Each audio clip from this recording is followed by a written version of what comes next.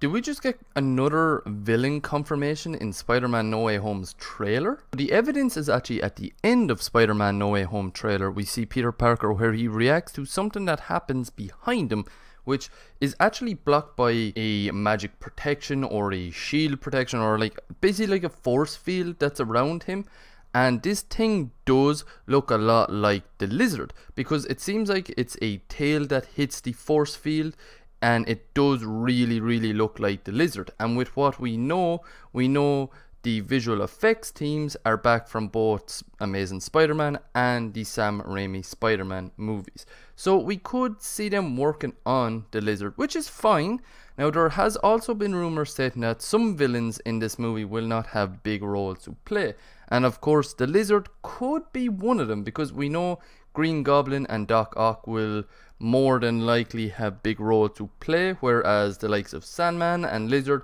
may not, but Electro could have a medium sized role. Now, in the trailer, we do see both Doctor Strange and Spider Man in the Sanctum's basement, so this could be where the lizard is, and it would make sense in a way because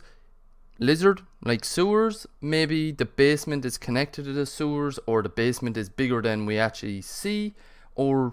something like that really and truly. That's that's my take from it but you never really know